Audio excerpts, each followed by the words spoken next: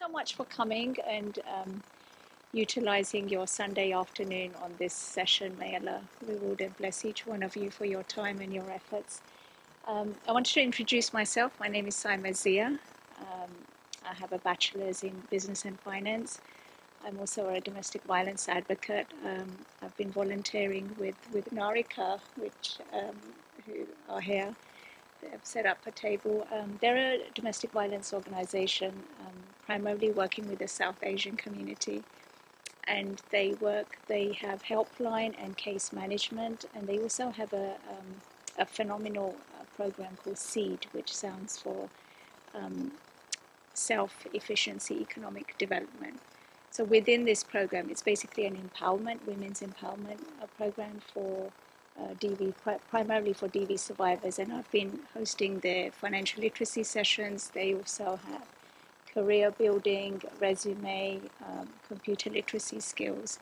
So um, that's kind of where I started my journey. And so, we, we, you know, by working with women um, uh, over the last few years, I've just realized that there's such a dire need of learning this uh, among our community. So I've just started to roll this out to the community at large, inshallah, inshallah, I hope it, it benefits.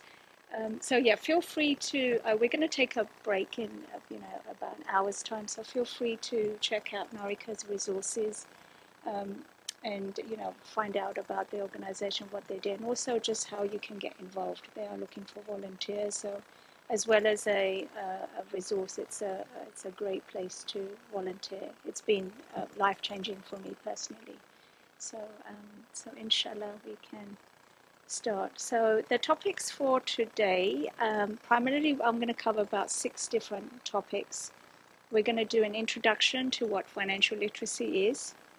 Uh, we're going to set some financial goals.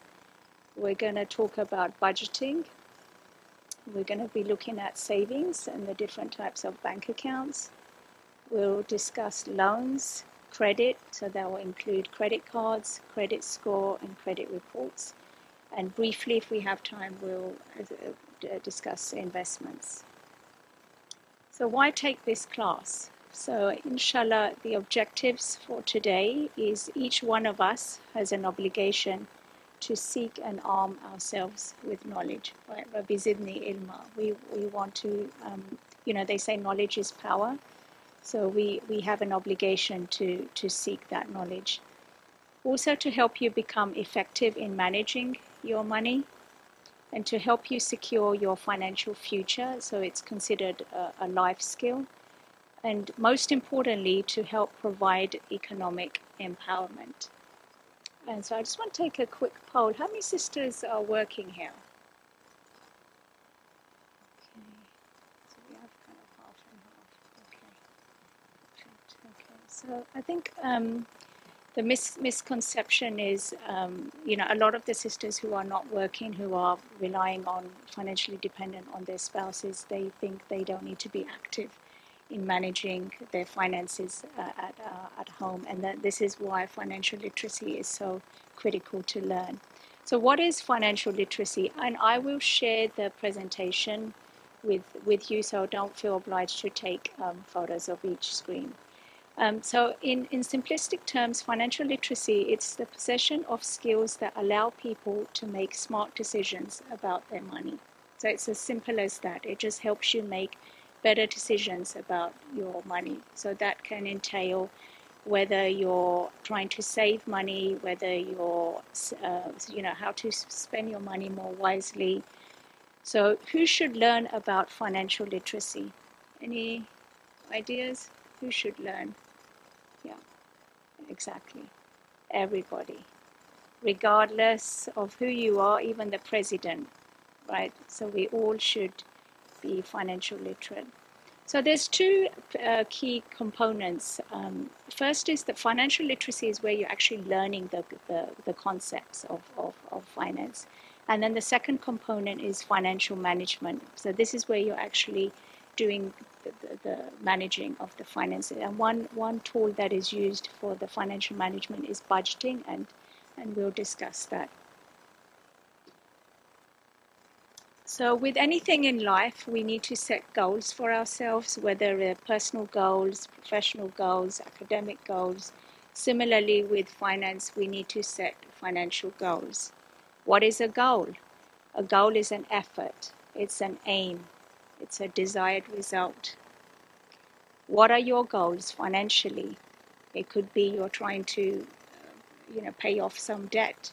You're trying to save up for a car you're trying to save up for a house. Why should you have financial goals? To help you make better decisions, better financial decisions. So, whether it's you're trying to save some money, you're trying to spend your money more efficiently, and it just gives you that sense of achievement. So, with financial goals, we specifically use a criteria called SMART. Anyone heard of SMART goals? So they're kind of mostly used in the professional context, but um, they can be applied ev- everywhere. And I find them particularly useful when you're setting financial goals for yourself. So, what is SMART? S is for specific. This is where you will state exactly what needs to be done with your money. M is for measurable. What evidence do you have to show for this? A is for attainable. You have to create a step by step guide on how to achieve this goal by keeping a record. R is for relevant. How realistic is your goal? So, for the finance goals, you need to look at your income and your expenditure. T, time bounds. What is the time frame involved in terms of when the goal will be achieved? So, an example of a financial goal. So, a general goal will be I, I want to pay off my loan, right? That's a general goal. But when you use your SMART criteria, what does your SMART financial goal look like? So, i am just using an example here. So, specific, I want to pay off $5,000 off my loan in 24 months. M for measurable. How will you go about measuring this? I will set up a budget so I can save $200 a month to help me pay it off. A. Attainable. How will I achieve this? I will cut my expenses on clothes and food so I'm able to save $200 by making a budget. So, this is the plan I've set up to help me achieve that goal. R for relevant. How realistic is this goal? So I've looked at my current expenses and I've looked at my income and I think I can achieve it. T, time bound. 24 months is enough time for me to save up. So this is one example of a financial goal using the SMART criteria. So once you've identified your goal using the SMART criteria, the next step is to categorize your goal in either a short term, a medium term, or a long term goal. Short term goals are goals that you will achieve within the next three months. So, an example could be I want to save up for a iPad within the next two months. So, that will be my short goal because it's within zero to three months. Medium term goals are goals typically that are achieved within three months to 12 months. So perhaps it could be you're trying to save up for a laptop by the end of the year. That will be considered a medium term goal. Long term goal is something that can be achieved a year beyond. So these are typically for longer term, you know, kind of bigger purchases and bigger investments. So maybe a down payment for a house or you're saving up for a car. Those are examples of uh, long term goals. Okay, so I just wanted to kind of do a quick group. I don't. I want to keep this interactive and not bore you uh, with with just me talking. So keep this a bit interactive. So can any of you give me an example of a smart financial goal? And then once you've thought of a smart financial goal, if you can help categorize that in either a short term, a medium term, or a long term goal. So I'll give you a couple of minutes to, to think of one and then we can discuss, inshallah. So you so using the SMART criteria, how will you how will you use your SMART criteria for that goal? That's a that's a very good goal. You want to pay off your student student loan. So then, how would you using the SMART criteria? How would you go about uh, uh, you know having that goal? So you have to be specific. So you, it doesn't have to be accurate figures. You could even make them up, right? So you know whatever the student loan is. So do you want to think of an uh, an amount, and um, we can we can do this we can do this together. So okay, let's pick seven thousand. So okay, so sp- so specifically we're going to use the amount. So specifically, I want to pay off seven thousand dollars off my student loan. And then do you have a time frame in, in mind? Um, oh, yeah, okay. So that's how you're going to start off. I will pay off $7,000 of my student loan in a year, right? That's your S part. Next is measurable. So how will you go about measuring that?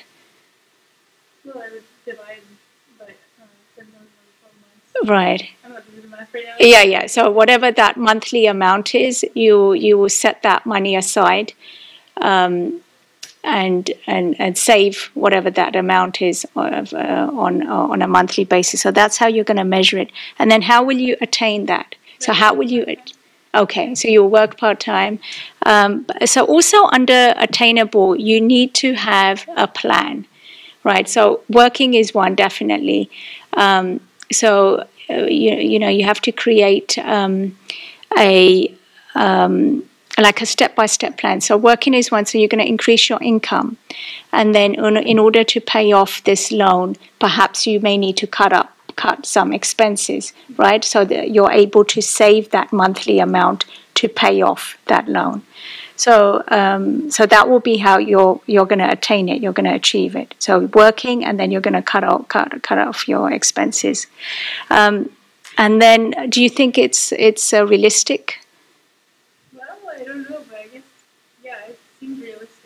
So one one tool that when we talk about relevant, one tool that we use to check if your goal is relevant is um, uh, working on a budget, and that's going to be our next topic.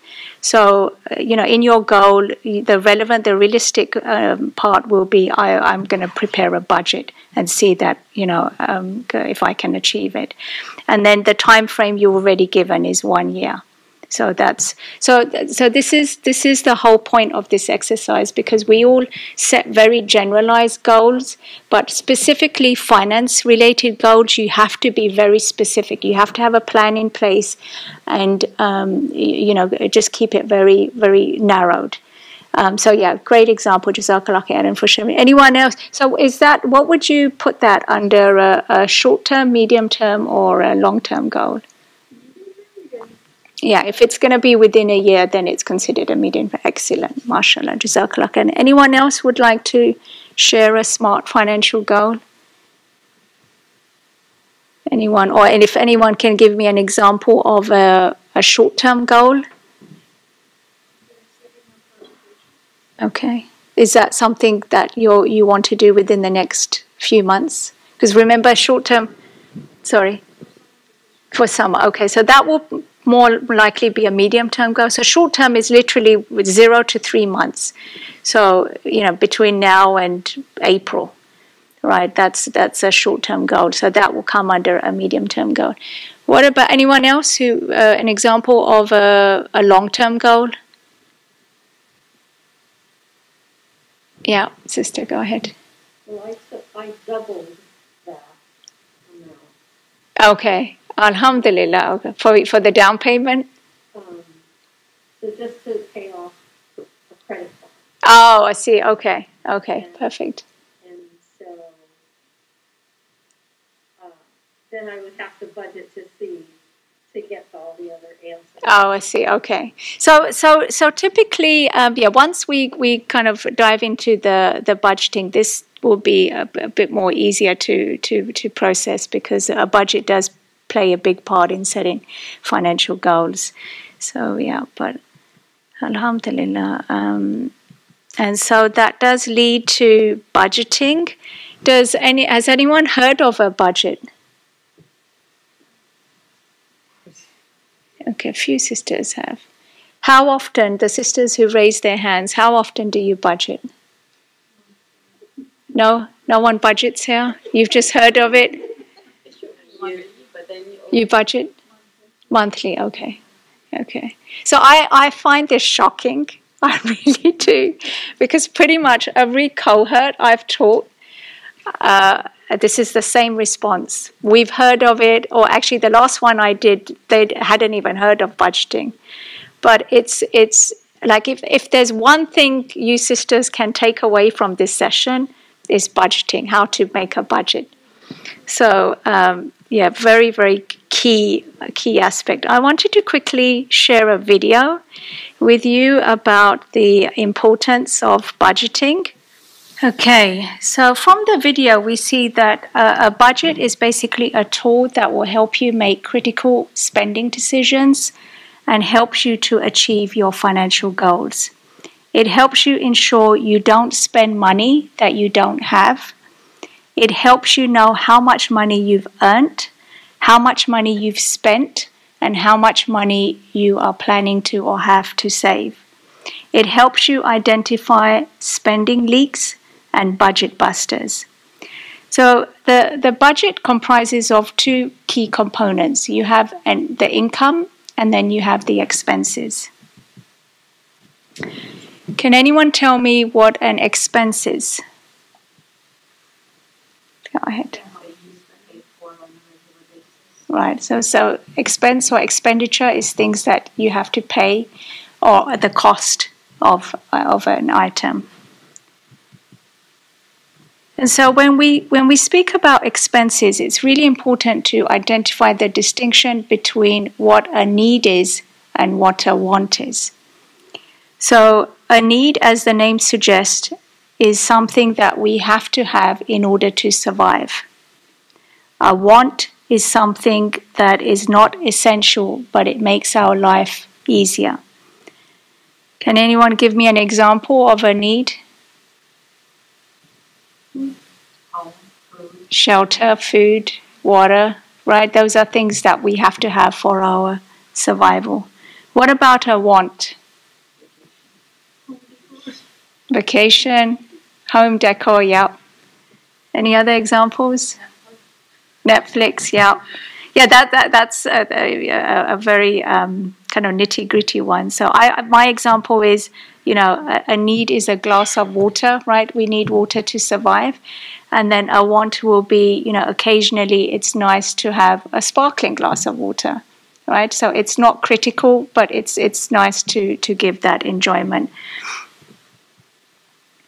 So this distinction is extremely important because you know there is a correlation between our emotions and spending. You know, most of us have heard of retail therapy and impulse buying, right? You go into a retail store, you go in for two things, you come out with ten others, right? So, um, so before you spend, it's it's important to ask yourself some key questions. Firstly, you know, did I compare? So when you you know you go into a store and you find something, you know, did did I compare the prices? Eh, you know, sometimes you can find that same item online cheaper or in another store cheaper, but because of your impulse, you you just quickly purchase it. Then you need to find out: is this a need or is this a want? Right? A lot of us have been in that situation where, you know, we, we go in, we find a nice pair of shoes and then we come home and we're just adding those shoes to our collection right? It's not really a need. It's more a want. It's it's good to have a different color or different style. So before you spend ask yourself do i really need this or do i want this? And then uh, particularly for larger purchases is this going to cause a delay in reaching my goals if you have to borrow money so if you're having to use your credit card for these large purchases it's obviously going to take you longer to reach your goals. So I've just put together some things that we can do without having to break the bank. You know, like I said, kind of our emotions are linked with spending. So, you know, some of us go and cheer ourselves up by going shopping. So um, there are ways to, um, you know, you know, cheer yourself up without having to financially spend big amounts of money. So some examples of treating yourself. You know, I'm a big advocate of self care. So you can give yourself a manicure, right? You can enjoy a favorite dessert at home. You could read a good book. You could spend some time with a with a good friend. You could take a nice walk or a hike you could invite your friends over for potluck and share the cost of the food. With your children, we know without, especially when they're a lot younger and you take them shopping, they're, you know, they've always, I know my kids when they were younger, they would go and touch, we want this, we want that. And we just satisfy their needs. So the you know other ways to to treat your children without breaking the bank. You can cook or bake together. You could read them a story. You could spend some time at the library. You could play a favorite game with them. You could invite their friend for a sleepover. So these are just, you know, just some examples I've put together to just get you guys thinking that you don't have to go spending to, you know, enjoy yourself. Um, so the one component um, of the of the budget, and we'll go through a sample budget together, is income. So typically, income is is what? When we hear the word income, what does what does that mean? Any ideas? Yeah. Yeah, your so you typically it's your earnings, your wages, your salary. So it's it's as the name suggests. I usually remember as income. So it's money coming in, right? And so I've just put together some resources. Um, uh, benefits.org is a, a, a, place where you can find federal benefits information if you are eligible for any public assistance. There's cash assistance, child support, food stamps, free or reduced lunch, uh, Medicare. Uh, you'll need proof of identity, income, and asset proof. If you are staying in any shelter, you can get priority processing. And then there's another government program to um, help needy families, and that's temporary assistance for needy families, TANF. So this is an example of a of a sample budget, and uh, we'll actually do one together, so that um, can work through this. So when you prepare a budget, there's, can you guys see me? For let me just see if I can move this so that people can. Okay. So when you start off with a budget, there's three steps involved. That's the best way of, of remembering. I'm going to keep it very simple so that you understand the concept. So the first step is you have to identify your income. Right? And so we've just discussed that income is money that's coming in. So some examples. Can, can you guys help me out here? I want to make this interactive. Some examples of income? Salary. Salary. Okay, so salary. What else? Rent. I, I have a house. Rent. Oh yeah, if you're renting uh, your house, I'm going to put rent, uh, rent out of house. Any other examples of income? Monthly income from inheritance. Okay, so monthly income, inheritance, okay. Any other examples? Child support. Child support, yeah. That's an example of income. Any others? Dividend, yep, excellent, mashallah dividend. What else? We can put a monthly. I don't know if you know if you you could get spousal support. I'm just going to put this under one category: spousal support or allowance. Right, your partner may be giving you an allowance on a monthly basis that will be considered your income. Right, so those are uh, some examples of, of income. And I'm just just to kind of make it easy, I'm, I'm going to use some figures because uh, you know we're making a budget. So for salary, I'm going to put salary or wages, right? And this budget I'm going to work on is going to be on a monthly basis. So the frequency of a budget is the bare minimum should be monthly, right? The bare minimum. If you can do, do one weekly, fantastic. If you can do one bi weekly, even better. But the bare minimum is to do it monthly. And my suggestion is that you should do this at the beginning of the month so that it will help you forecast your uh, you know expenditure for that month. So do it at the beginning of the month and then you've got this plan to help you with your financing for that month. So minimum is is monthly. So I'm just going to make some uh, you know fictitious uh, figures up here. So wages uh, I'm going to put 500 uh, rent 300. I'm just keeping the figures basic so that we can get our maths. Okay, so that is your first step, right? You're going to identify all your income on a monthly basis. Number two, the step is now you will look at your expenses, right?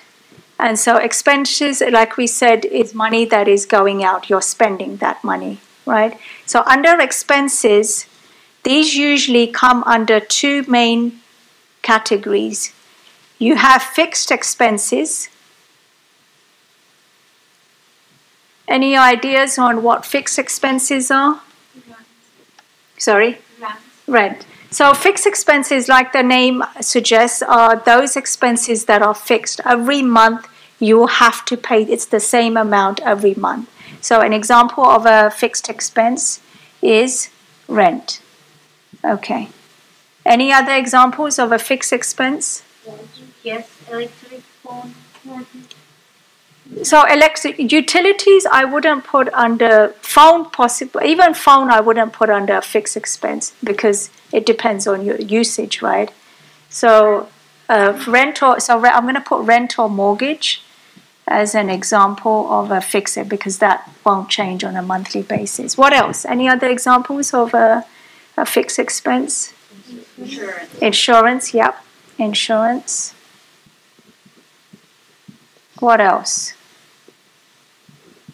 The groceries count? I would put those. Um, they wouldn't be you. You won't be spending the same amount, right, on a monthly basis on growth. So they will actually go in my in my next category, which is variable, right? Variable or flexible. So this, when you when so when when we're looking at expenses, it's really important to have this distinction, right? Identify what are your fixed expenses and what are your variable expenses. So going back to the fixed, we have rent, mortgage, insurance. Anything else? Yeah, yeah. So any loan payments? You may have a uh, a, a car loan, right? That would be considered uh, if it's fixed every month. That's considered a fixed expense. Any others? Yes, absolutely. Yeah, those are going to be. I'm just going to put here monthly subscription. That will be fixed. So, mashallah, you understand the, the, the concept is that it's those uh, amounts that, that do not change on a month to month basis. So, once you've identified your fixed expenses, your next uh, expense is your variable or flexible expenses, right? So, can I get examples of variable expenses? Those that expenses that are going to change on a month to month basis. Bills? So yeah, these these ones are more easier, right? So obviously food, right? That's the big one. Food or groceries I'll put as as one. Okay, utilities. So under utilities, uh, gas, electricity. I'll put phone here. Someone had mentioned phone. What else as uh, Credit card? bills? Yep, credit card. Yeah. Any others? So I, I, you understand the concept, right? It's basically those amounts that are going to change on a month to month basis. So I'm going to put some figures up here So um, rent, mortgage. Again, I'm just trying to keep the math basic. Um, let's do 600 rent. Actually, I'll change this. Not 600, 300. I'm just keeping it basic for our math. So.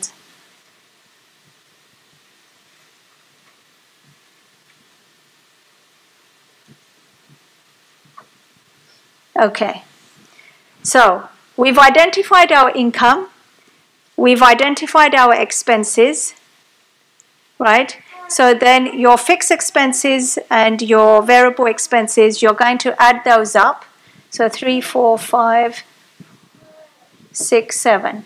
So my fixed expenses are 700. I'm going to add my income up, 8, 9, 10, 11, 12, so 1250, right? My income is 1250 and my expenses are 700, okay? And then the third step, which is the final step of a budget, is you're going to, I'm going to label this as A, right? A is your income, expenses is B, Step three is you are going to subtract A from B. So you're going to subtract your income from your expenses. And that amount will tell you a lot of things. So 1250 minus 700. How much?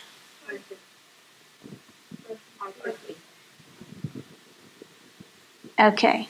So we have a surplus of $550, right, for this month. So, so, so when you when you do this calculation, the, the expenses, so the income minus the expenses, you either get a positive. So in our, in our case, obviously, it's a positive number, right? So this is considered a budget surplus, or you will get a negative number. So uh, a positive number. I'm just going to put this over here. So a positive number at the end is a budget surplus, right? And if you get a negative number, that is considered to be a budget deficit. So when you get a positive, so what is the aim in the budget?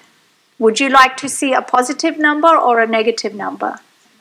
Yeah, ideally, ideally you would like to see a positive. Realistically, it is not uh, you know very frequent that we get a, a, positive surplus but ideally we would that's the aim to get a positive number so when we get a positive number what does that mean what what does that surplus tell us yes excellent a lot of people get excited i've got this extra money i can go spending right but the key of doing this is that it helps you realize that you need to put some money aside for that rainy day. And then if you have a negative, so if, for example, in our case, if this was a negative, a, uh, a deficit of 550, what does that mean? Exactly, exactly. You are spending more, so you are spending more than what you are getting in, right? And that should be a red flag. So what if you if this was a negative, then you have to look at your expenses firstly and see where are my spending leaks? What is it in my expenses I can do to change to you know to reduce my expenses? So it could be under food, for example. Perhaps you're spending money on you know restaurants and eating out. So that is considered a speeding, uh, uh, sorry, a spending leak right? Or, and, and it's considered a budget buster.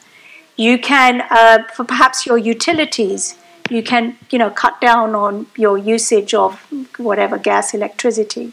So that, that negative number, you have to review your expenses first and foremost. Once you've looked at your expenses and you've seen that there's nothing you can change, right? You've, you've, you've, done, you, you've done that overview. At that point, then you will have to look at your income right? If your expenses, like whatever you have, you can't reduce them any further, then you will have a look at your income and you have to find ways of increasing that income so you're able to meet your expenses. So there's any questions on, on the budget? No? Everyone gets the the concept. It, I, I think, kind of mentally, we've um, you know we just think it's it's an extremely difficult concept to you know to um, to handle, but it's really pretty straightforward. I think once you've grasped that there's th- literally these three steps involved, you're identifying your income, identifying your expenses, and then you're just subtracting one from the other. Uh, and like I said, uh, you know, the bare minimum is to do this monthly. And so, the, you know, some ways of preparing a budget. Um, a lot of my clients I work with, they they keep it very simple. They prepare one in a notebook on a monthly basis. Um, you know, just uh, uh, like a, a, record they keep. Uh, if you do have great tech skills, then you can um, do an Excel spreadsheet you can prepare one on on that, and it you know you've got an uh, an online version. There are some apps um, available too uh, that you can use for uh, for a budget, and uh, those are um, uh, one very good one is called Mint. Mint. Anyone used Mint? You've used Mint. Have you found it very useful? Okay, so Mint is a is a good one, and then there's another one, AARP Monthly Map App. Um, and like I said, my, my advice is if you can, please prepare this at the beginning of the month because it's a great forecast for, for that month. Okay, so moving on. Um, so once you've established your budget, um, another very important concept is an asset. Anyone heard of an asset? You've heard? Okay. So, what is an asset? In very simplistic terms, asset is something you own. So, it's property that is owned by a person or company, and it, and it can be used to meet your debt and other commitments. And it's important, particularly for us women, um, to take stock of our assets. We should make a list of our assets individually. We should have a, a list of our assets that are jointly owned with our spouses and we should also have a list, or uh, at least try to get a list of assets that your spouse owns. So, uh, examples of assets is a, a house, a car, any collections. This can include jewelry, insurance, cash, bank accounts, investments. Right? These are all considered as assets. And the opposite to this is a, a liabilities. What is a liability? A liability, in simplistic terms, is what you owe. So it's a legally binding obligation that is payable to another person or company. And again, similarly with assets, you, we should take stock of our liabilities, keep a list of those that we have uh, individually, uh, those that are jointly owned, and liabilities that are owned by your partner. Examples of liabilities credit cards, payment plans, and loans. So, someone mentioned, yes, sister, go ahead. So, if you're paying on your house, yes, where does it fall as an asset? Yes, yes, it's yeah, it's still considered an asset. Yeah, you mean like if you have a mortgage? Yeah, yeah, it's still considered a, a, an asset. Yeah. So, so, I think someone mentioned saving. Um, so, so saving, I, ideally, there should be two categories of, of saving. We should have an emergency savings and long term savings. So, long term savings, as the name suggests, are savings that are typically for um, over a year. How many sisters here have individual saving accounts? How many sisters have joint accounts? Okay. I, going back to the group reflection, so personally, I, I do recommend we should each have our own saving account. Um, the, it's good to have obviously a joint account, but you don't know about the rainy day and the field that I mean, it's just really unfortunate to to hear and see the situations people are in because they didn't have their own saving accounts. So I think for our own uh, particularly our own financial empowerment, we should, you know, we should start having one. Um, and so the emergency savings fund is, um, as the name suggests, is savings that you set aside for emergencies. And you know, with, with life being so unpredictable, right? There could be uh, a loss of income at home, your car can break down, there could be sickness, a death of a loved one, right? So we really need to save some funds for, for this emergency, for that rainy day. And, and, and this savings fund provides a safety net and a cushion in the event of an um, you know unexpected or, or tragic event. So it's best to be prepared. So generally, the rule of thumb of emergency fund is you should have between three to six months of your living expenses in that fund. So this includes whether it's uh, your rent payment, your mortgage payment, uh, utilities. It should cover your, you know, your food bill. So around three to six months as, as a ballpark figure for your uh, emergency fund. So, but you know, keep keep your uh, emergency fund goal realistic. If you think the three to six months is too much, then the bare minimum at least have one month's housing costs covered, right? So if your mortgage is or your rent is just say $3,000 a month, right? The bare minimum in your emergency savings fund, you should aim at having that amount so that you're able to cover one month of your housing fees. And and once you've met that goal, then you know you can obviously add to it. Um, and, and, so uh, the, the other important point to make here is, you know, we have to be consistent. I think, you know, a, a lot of us fall in this trap where we, we, we put some money aside for, for saving, but it's not consistent, right? So it's good to start small. It's good to save $10 a week, right? But every week rather than I'm going to save up $50 and put that money away. So it's advisable to to have a small goal for for putting that money away, but just be consistent. And uh, you know you can you can do this by uh, you know automatic transfer or or direct deposit. And an example is um, if you're saving ten dollars a month, right, and it's getting two percent interest. In five years, this would go up to six hundred and twelve dollars. So they are huge. Even if you're saving that small amount, there's huge advantages.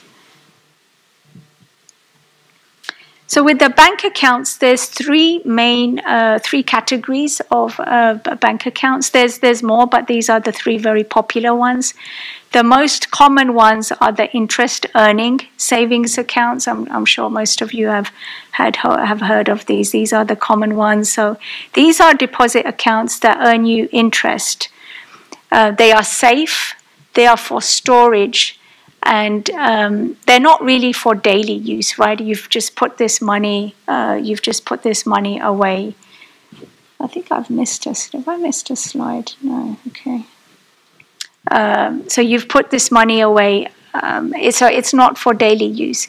If you are looking for account for daily use, then you can utilize a checking account. So with the checking account, you get a checkbook, you get an ATM, uh, a debit card, um, and and so that you can use on a day-to-day basis. But that that doesn't have interest uh, accrued on that account.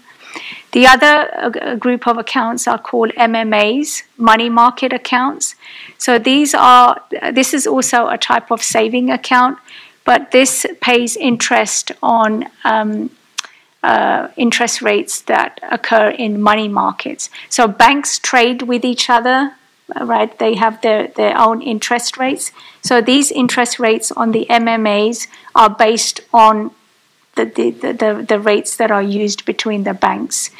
Um, these accounts typically do pay higher rates of interest uh, than traditional savings account, but they uh, they have some kind of stricter conditions. They require higher minimum balance, and there are limits on the number of transactions that are allowed per month.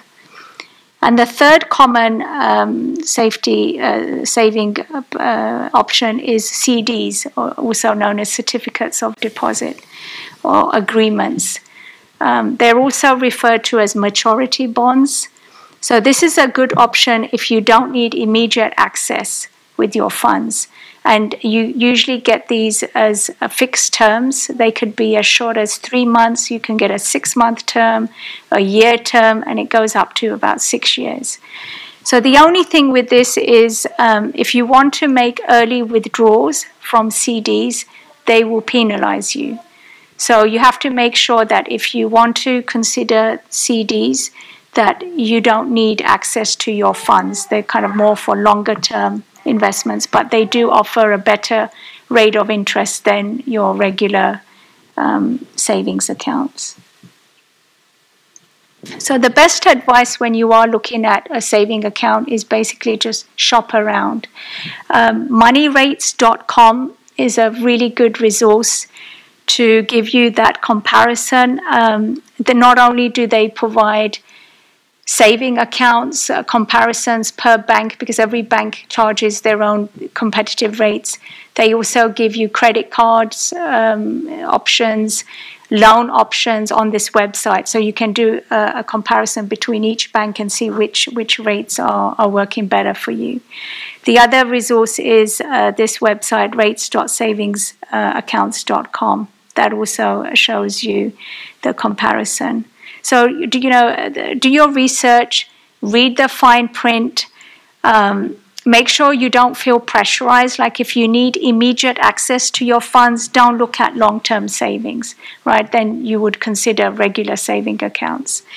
Um, you want to make sure that you get your money, uh, you know, without worrying about longer term commitments.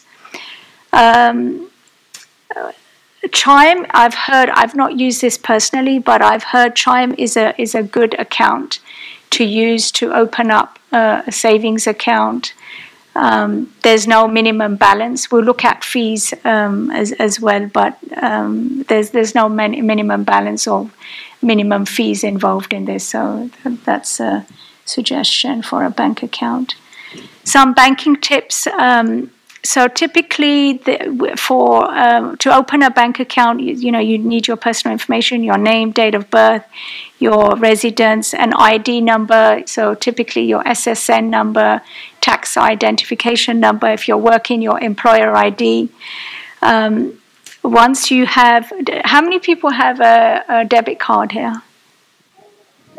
Okay, so you're familiar with, um, you know, obviously you have a PIN and how to access an, an, an, ATM machine. And so, yeah, just remember to keep your PIN. I know this, for some of you, it's self, you know, common sense, self explanatory, but a lot of sisters do not know this. So it's just a, I'm, I'm just giving an overall, um, you know, reminder to, to everyone. Keep your PIN safe. Do not share it with anyone be aware of all banking fees, and, and we'll discuss fees in, in detail. And then when you use your ATM, typically, um, you know, it's advisable to use the ATM that is owned by your bank. If you decide to use an ATM, you, you know, belonging to another bank, you will get charged. So you need to make sure that the ATM is in within, you know, within the network. So types of banking. Um, internet banking. So, how many people uh, can tell me if internet banking and online banking what the difference is? Anyone know the difference between internet banking and online banking? Okay, they're basically the same right?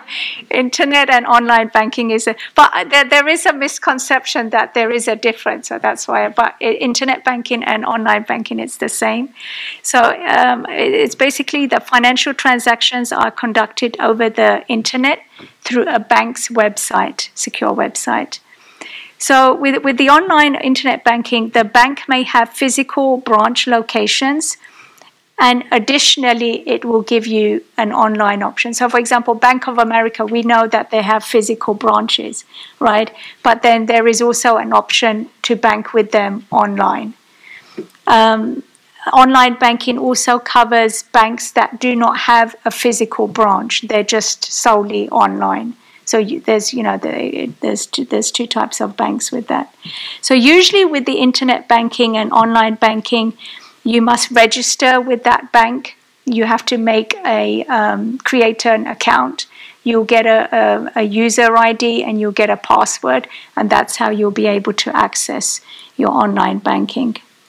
So the advantage for online banking, mostly for banks, it saves them a lot of money, right? Because uh, particularly ones that are just solely doing this online, they don't need to worry about the cost of, you know, uh, having a location, the staff. Everything is being done online. Uh, for the customers, people like, you know, it's just convenience, right? That you're just doing this on your on your desktop. Um, and um, and particularly you know with with the banks there's opening times and closing times so you can do this it's accessible 24 hours a day seven days a week so that's the other um, advantage of an online banking what are the features of online banking customers can pay bills online you could transfer money from one account to another you can view your account balances at any time of the day you can view or print statements from the comfort of your home. You can view images of checks. And you can even apply for loans or credit cards online. Anyone here has an online account? Anyone? Okay, quite a few. So, yeah, so mashallah, you know that there's huge, huge benefits, huge advantages of this doing it at the comfort of our home. So, the other um, banking uh, aspect is mobile banking. What is the difference between a mobile banking and online banking? There's one specific key difference. Sorry? Yeah, so, so basically, mobile banking, as the name suggests, it's done through your phone, right? So you download a, an app from that bank. So going back to the Bank of America example, you download their app and then you're able to do everything that you know from all these features you have you can do this from your phone you you know you, you, you, mobile banking is only done on your smartphone or tablet not on your desktop. And then you've got the uh, you know additional feature of text messages and sms any questions on the, the different types of banking? So you obviously you have your in-person you have your online, your your internet banking, and then you have the the mobile banking. Okay, so I, I touched upon fees. Um, so when you're when you're choosing bank accounts, please please look for and ask for the fee schedule, right? Because every bank account has fees imposed. So I've just put together three or four kind of main, there's a lot more. These are the kind of common ones. Overdraft fees, these are fees mostly for checking accounts. So, what do we mean by overdraft fee? So, if you don't have enough money in your bank account and you're trying to cover a transaction, right, the banks will charge you an overdraft fee. And typically, on average, it's about $35 per transaction. So, you know, please, before you open up an account, just make sure you know what your overdraft limit is and then if there are any overdraft fees. Because if you have insufficient funds in your account and a transaction is made, the fee will be charged. So just just be vigilant and, and, and careful on, on your overdraft fees. And like I said, this is mostly for your checking accounts. The other common fee is a minimum balance fee. So this is a fee that is when you when you open an account, these are fees that they charge to maintain a minimum balance for your account. If you can't maintain this balance, so for example, the account may entail $500, right? That you have to have $500 for this, um, you know, on a monthly basis. If you can't maintain this balance, you will be charged a minimum balance fee.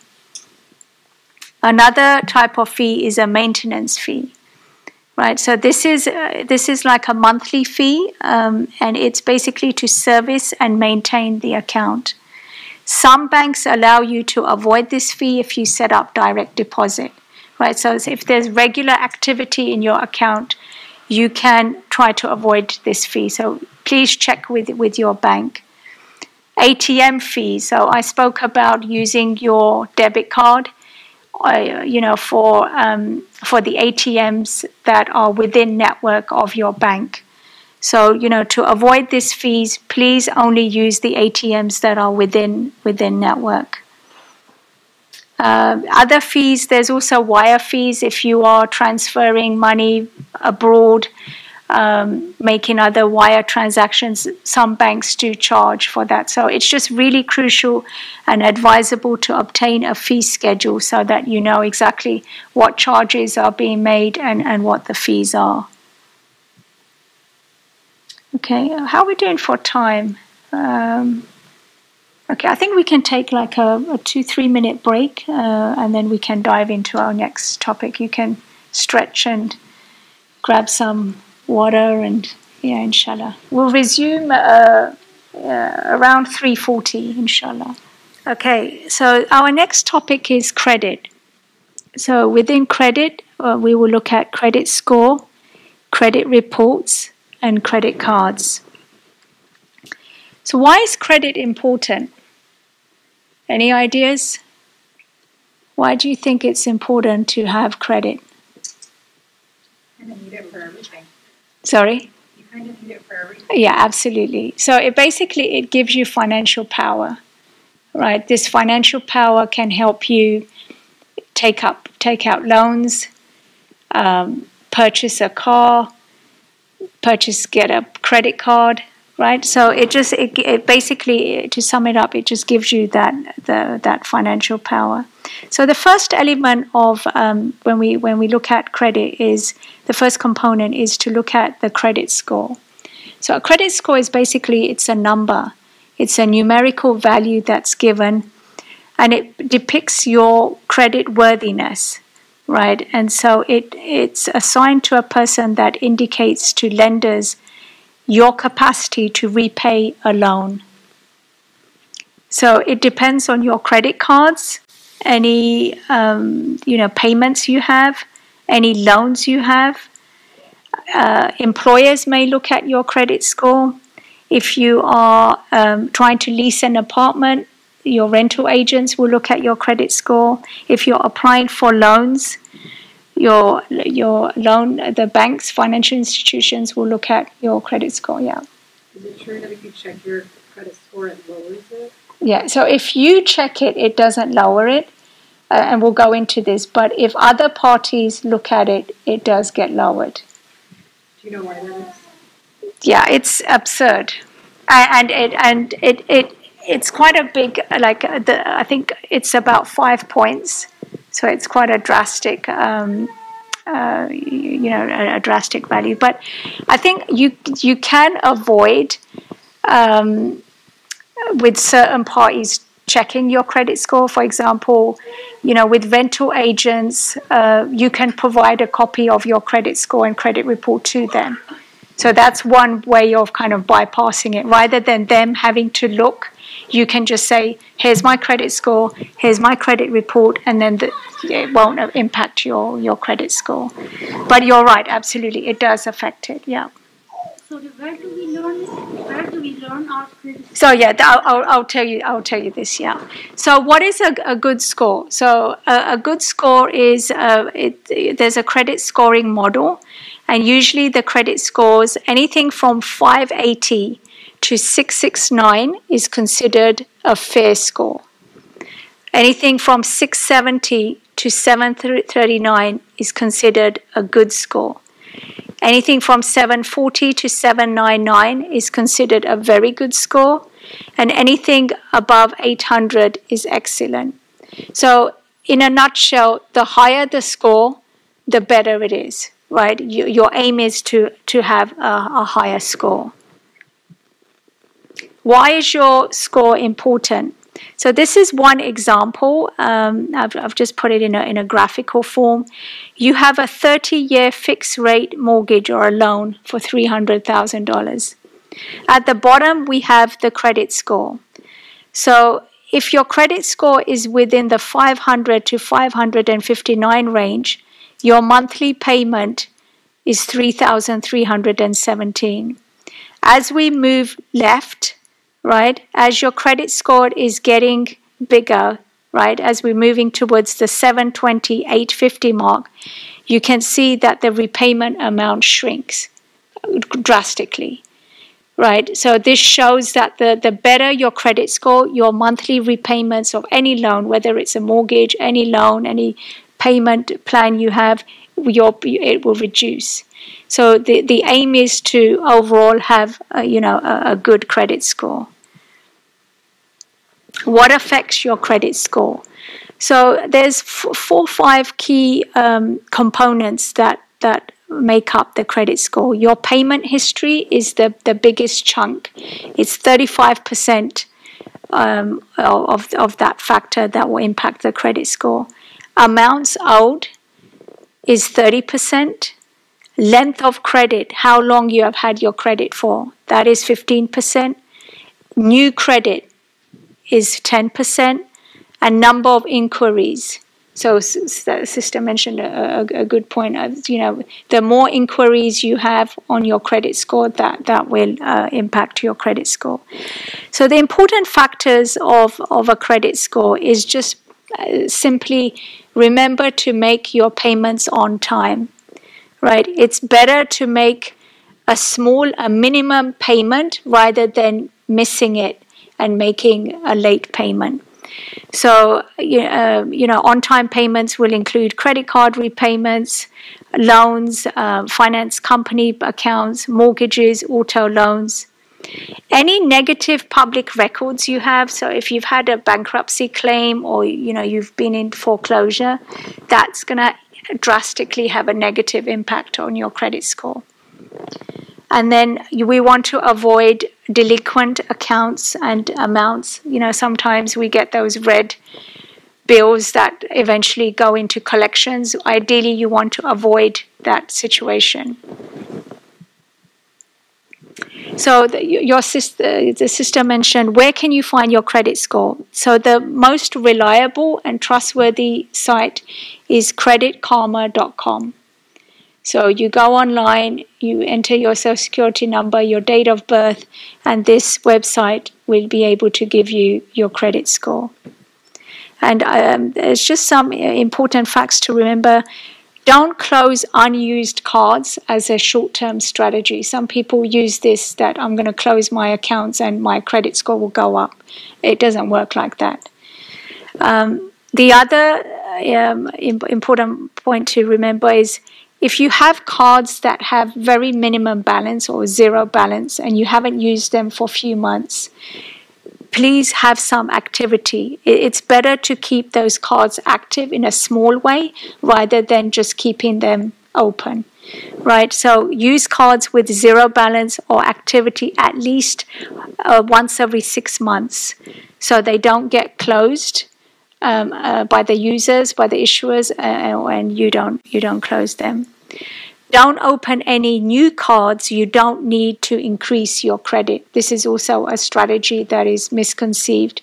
That I'm just going to open up some extra lines of credit, um, and it's going to boost up my my credit score. Keep your balances low. That's the key to a good credit score right? Just keep your balances low.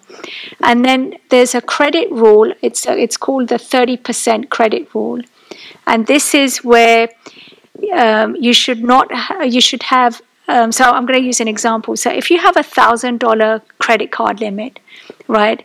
Your 30% credit rule is that you should not have a balance over 300 outstanding for long on that account, right? Because that's going to affect your credit score.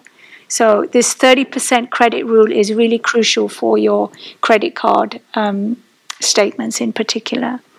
Any closed account you have will show up uh, on on your uh, on your credit report. If you have late fees, missed payments, this will impact your credit score.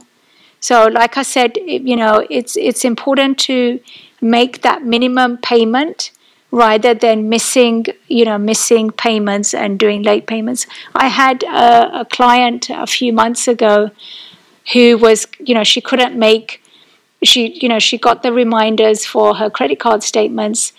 Um, and you know there was a minimum payment. I think in her case was about $25 and she said i'm going to wait until i'm ready to pay the full bill off. Um, and she missed the minimum payment that due date. So that autom- automatically had a negative impact uh, on on her credit score right? She was waiting to pay off the whole amount and it got late. But the key is that, you know, at least make that minimum payment, right? Because that is far better than missing a payment altogether or having a, a late payment. Um, so, you know, like I said, make making those timely payments are absolutely critical in impacting and increasing your, your credit score. So the next important component of uh, of credit is a credit report. Anyone here? Firstly, does anyone here have a credit score? Do they know their credit score? Anyone? Do you? Do you or no? No, you had this beautiful smile. So, oh, you did. Okay. No one has a credit score. You do. Okay. Last year, I, I looked at it. Okay, you know it, it's free. There's no, you know, it, it's it, you just go to creditkarma.com, and uh, so two things I advise: go to creditkarma.com, retrieve your credit score, and number two, download your credit report. These are very crucial, you know, uh, elements. No, no. So I, I'm going to tell you. So let so so I, I am also going to. Um, because this does happen a lot.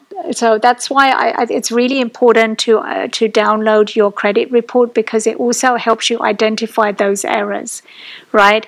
And the other advantage of downloading your credit report is it can help uh, identify if there's any uh, identity theft going on. So very very critical to um, you know to have your your credit score and your credit report. Because I've been working with domestic violence victims, uh, I, I, get this question asked very regularly too. That you know uh, we don't have any credit cards, we don't have any loans, so we're you know we're not likely to get a credit score or a credit report. There is one way around that, and, and I'll, I'll, discuss this. But going back to Chime, chime.com, uh, you know, because for a first time user, it's hard to get a credit card, right? Particularly if you're not working, because that's one of the things they look at your annual income. So, Chime is a good um, uh, account to have because they don't have any fees they're, they're kind of more lenient on first time uh, you know first time credit card users. So that's uh, you know one one resource to to utilize. But I know I know with this group I think pretty much everyone has has a credit. Sorry? Chime yeah. It's it's a uh, C-H-I-M-E you can have a look online. So um, if you don't have a credit card they um, uh, they are a bit more lenient as opposed to some of these other companies who look at your income and your credit score before they, they can issue you one. So um, the other uh, uh, option, if you do not have a credit card and you're a first-time user, is you can also approach because um, banks are a bit more stringent and strict with their rules. Um, credit unions are another place. They're kind of an alternative of of, uh, of banks, and so um, they're they're more kind of more lenient too in terms of. Um, but sorry, credit unions, yeah. No, no, credit unions. You can actually find them. So um, yeah, yeah. It's it's a financial institution, so you can find them in, in you know in your neighborhoods. You know the the physical branches. You can go into. They they provide the same um, functions as as a bank. But uh, previously, they they worked. Um, you, you know, you had to be part of a like a union but they've changed that now right like like for example your employ you had to be working and, and, be part of a union but but you can you can register with the credit union and and apply for a credit card and I and, and going back to uh, to your question sister so so one option to build up your credit is if your if your spouse is a primary user, right? He has a bank account, he has a credit card with that bank account, so he's considered the primary user. You can be added as an authorized user. So he can get you a credit card in your name and you'll be considered an authorized user. Once you are an authorized user, you can start using that credit card. And that does uh, it will affect your credit score right? So you'll be able to get a credit score. You'll be able to um, you know have download a, a credit report. But if your spouse is the, the downside is if your spouse is not making regular payments he's missing them he's making them late then that's directly going to affect your credit card so you, I mean, you know your situation. Just be conscious that if your spouse is is you know making those monthly payments, he's consistent, then you're good, right? That registered, uh, sorry, the authorized user will work. So, you know, a lot of sisters are in that setup where they're the authorized users. But the, you just have to be careful that, um, you know, if he's not paying them on time, it's going to directly affect your your score and, and your report. So, um, so I hope that answers your question, sister, because um, I, I, get I get that asked asked a lot. Um, so, so it tells you a, a, credit report basically tells you the financial background and history if you have been repaying all your debts on time, and this information is um, it tells the banks and this is particularly useful if you want to get a loan out um, or you know a, a mortgage um, it tells the credit card companies and even the government. The report is a summary of your credit history.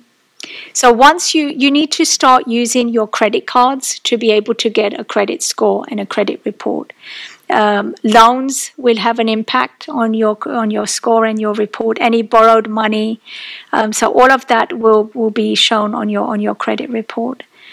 Um, so lenders will check your credit report to make decisions about whether or not to grant you credit and about the rates and terms that you qualify for. So that's my next slide.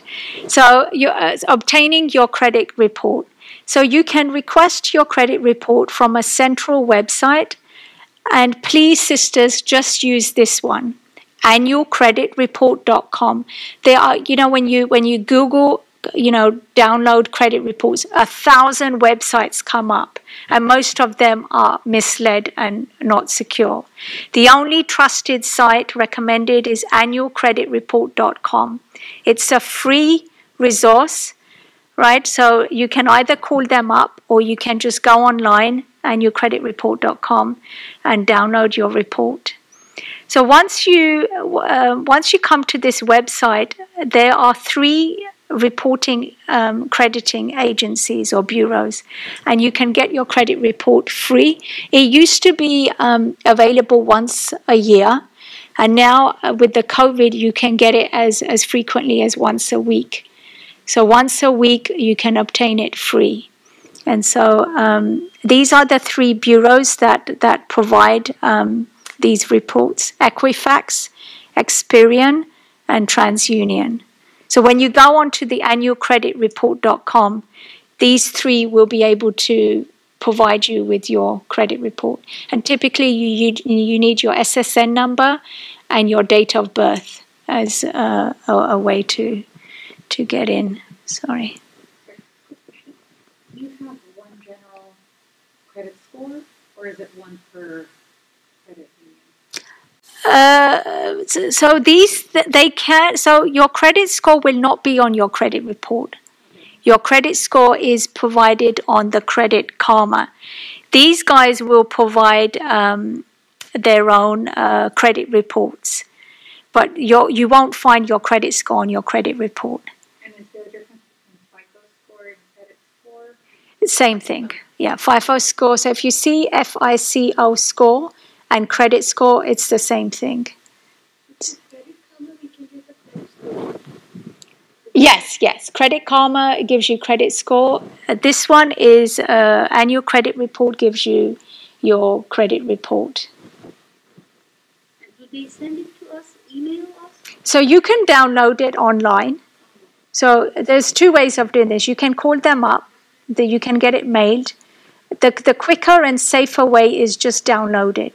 Yeah, just you can just go onto their website and uh, you know provide them with the credit card, uh, sorry, your social security number and your um, date of birth, and then they'll they'll be able to retrieve it and um, and and get that to you. So the annualcreditreport.com, um, the, the only way you can um, retrieve your credit report is your social security number. For those of you who do not have a social security number, you can ring up those agencies separately. So Experian, uh, the Equifax, TransUnion, you can ring them up individually and then you can give them your tax ID number and then they will um, you, you know um, do like this identity um, verification by mail you can only do this by, by mail if you do not have your social security number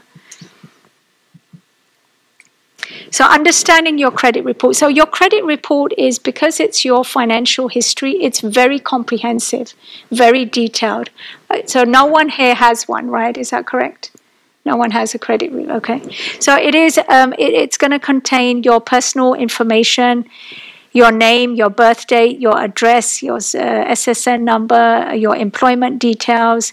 It will have a whole section of your credit history, your payment history, your balance information, up to your current status. So where you are uh, right un- until now. It will also list any public records. So if you have any bankruptcy filings, unfortunately, those last up to 10 years on your credit reports. So you want to avoid you, you know bankruptcies and, and foreclosures. Um, it also shows any inquiries. Uh, list of creditors or authorized parties that have requested a credit report in the last two years. So that will come up as well. That's why it's good to download it, right? Because it, it will tell you, um, you know, which people have accessed or, or wanted to to ga- gain um, access of your credit history some credit facts. So when you check or you pull your own credit score or credit report, it does not hurt your credit score. So going back to your question, sister, it, it does not if you pull your own credit report. Right, you can pull. I mean, now you can download it as frequently as once a week, so you don't need to worry that it's going to impact your your credit score. Credit inquiries made by companies that are checking your credit report to send you pre approved offers, those do not impact your credit score either. Uh, you know, a lot of, uh, um, assuming, do many of you get pre approved offers?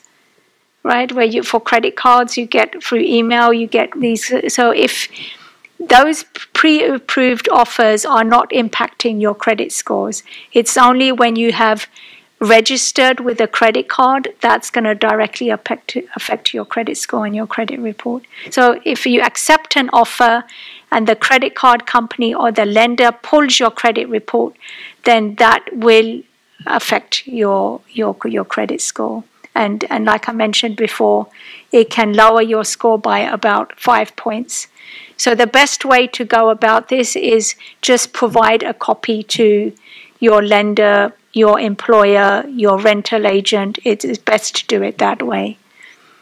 And then, like I said, reviewing your credit reports helps you catch signs of identity theft early.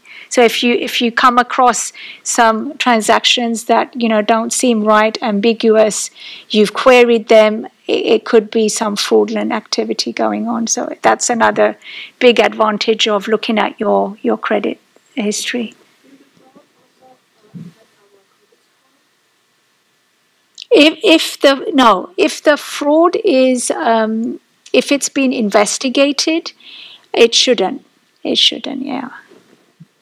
So uh, and then uh, uh, another very important um, uh, point to make here is please contact your so if you are having difficulty making your uh, payments, whether it's your credit card payments, whether it's uh, you know any payment you have with the creditor, please contact them, right? It's it's better to contact your creditors than ignoring them and then the red letters are coming and then those amounts are being delinquent and then they're going into collections right so please and i think the biggest personally i find that the biggest um, creditor is uh, our medical bills right? Like our insurance only covers certain amount of, of, of medical bills, but we can, you know, there, when we get a medical bill, there's always a number that's given behind any bill that if you have problem or difficulty making this payment, please contact us. So this is absolutely critical that please sisters, if you're having difficulty making any sort of payment, please contact your creditors because you can negotiate and, and come to some sort of agreement and make a plan rather than just neglecting that payment and then it's going into collections and it's ruining your credit. So, but fundamental advice. Okay. Jazakallah khairan. Okay, has it started? Oh, Asr start. So we we can break here for uh, for Asr. Salah sisters is started. Sorry, I do apologize. So okay, Bismillah. Okay, so we stopped at credit reports. So um, you know, one advantage of downloading your credit report is to help you identify any errors, and there is a process involved if you do. Um, uh, you know, identify any errors or even to correct them. So you must collect and uh, collect all evidence to dispute these errors, and you can do this either online or by mail. You need to report it to the agencies 30 days to verify, and they'll temporarily exclude that discrepancy from your score. If the reporting agency is unable to verify the entry, then they must remove the error. If the error is removed, you can ask for a corrected version of the report and then get it sent to um, everyone who's received it in the last six months. So this is the the process. That's why uh, it's it's very critical that when you when you download your credit report, please go through it extremely, like in fine detail, very thoroughly, because it is prone to to errors. And and then when you have identified an, an error and you want to correct it, this is the the procedure involved. I think most most of you have. Anyone here who doesn't have a credit card? Oh, you don't. Okay. Um, so minimum age is 18.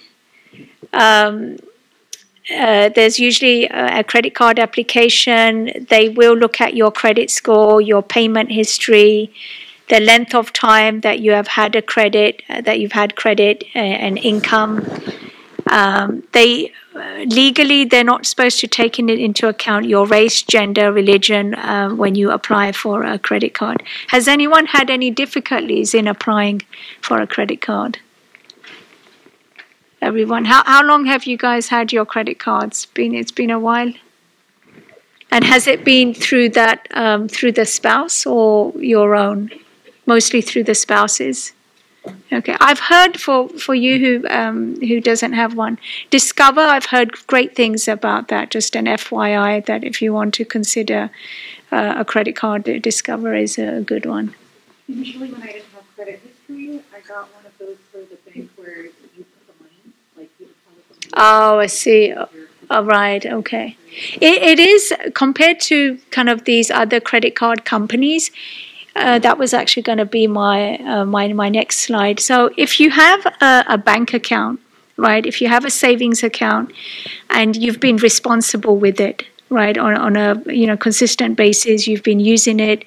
Um, it, it's it's better and far easier than getting a first time credit card through a bank that you've already established a good relationship rather than you know getting a credit card from a, a, a another company right? So if you are with a with a good bank you've developed a good relationship with them they um, will will pre-offer um, and and possibly pre-approve you um, of a credit card and, and you can get one that way.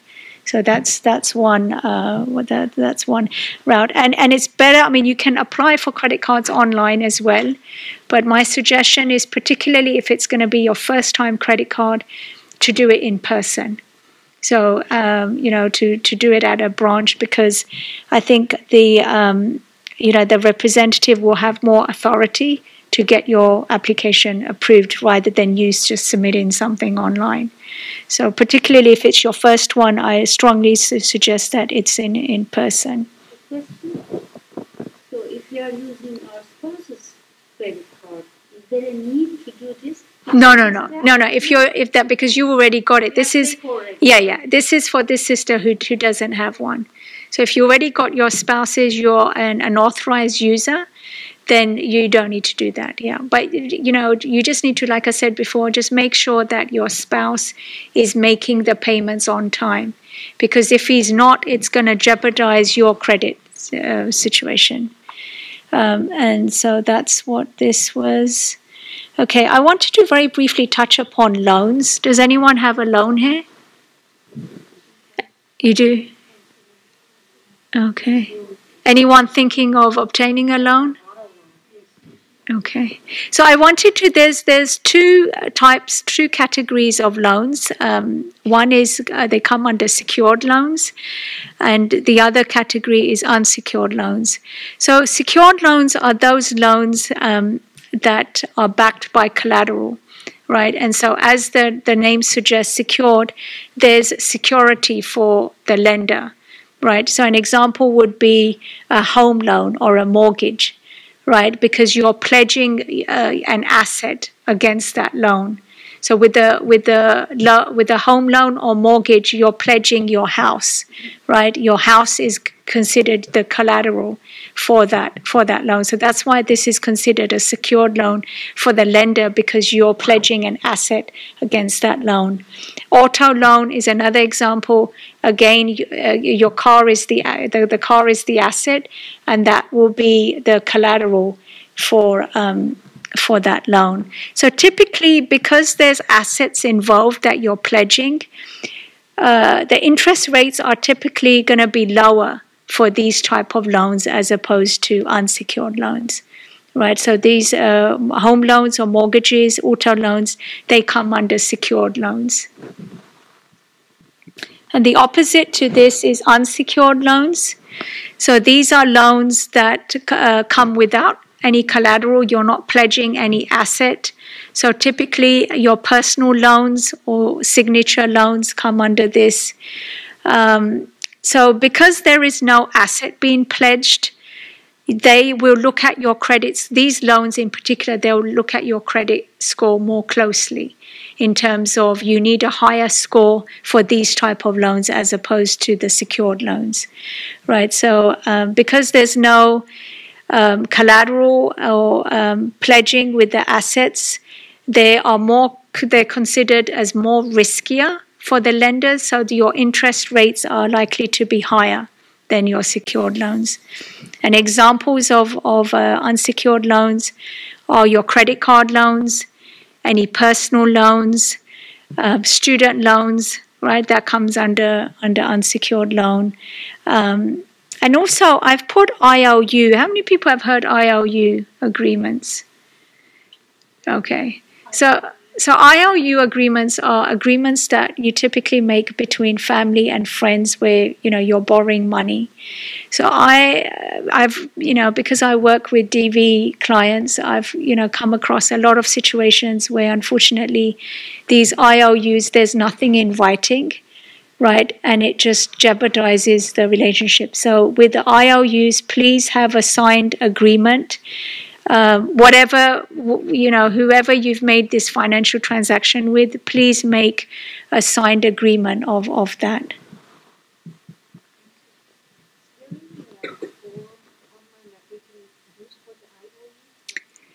I'm I'm not aware of any. Um, I mean, you, you can check. You can have a look. I'm I'm not aware of any. Um, I don't know if there's a template, possibly but uh, I strongly I strongly recommend that that one is is is used like a you know a, a writing template.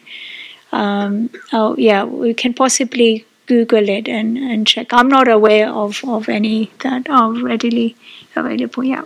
Is witness the paper, or it should be Notarized will be even better. So if you can get it, if you can get it notarized, even better. But the minimum, yeah, it doesn't have to be, but I think that it just gives you that legal protection. So uh, yeah, excellent point. I think not, notarizing um, that document will, will give it more more legal status. But at least the bare minimum is at least have it signed, because a lot of these IOU agreements are all verbal like I owe you 50 bucks, I'll give you, I'm just giving you a small example, I'll give you next week and then you forget about it and then it never happens. But particularly where, regardless of the amount, because anything we give to someone, it's an amana, right? But unfortunately, they are, I mean, even within families, within siblings, you hear these horrific stories where brothers and sisters, they've given loans to each other just because they're family and they never returned. Right? They don't even acknowledge that this payment was ever made. So, you know, astaghfirullah, we're accountable to Allah, and so we have to, the bare minimum is to have a signed agreement. Notarizing will be, will be even better. What about emails? Email exchange without a signature? Yeah, I, I'm still uh, signed is the minimum. I think even email, I mean, uh, that, that doesn't hold much bearing. The bare minimum, it should be signed. Notarized will be even better. But these verbal agreements, they don't, they don't stand. They have no bearing.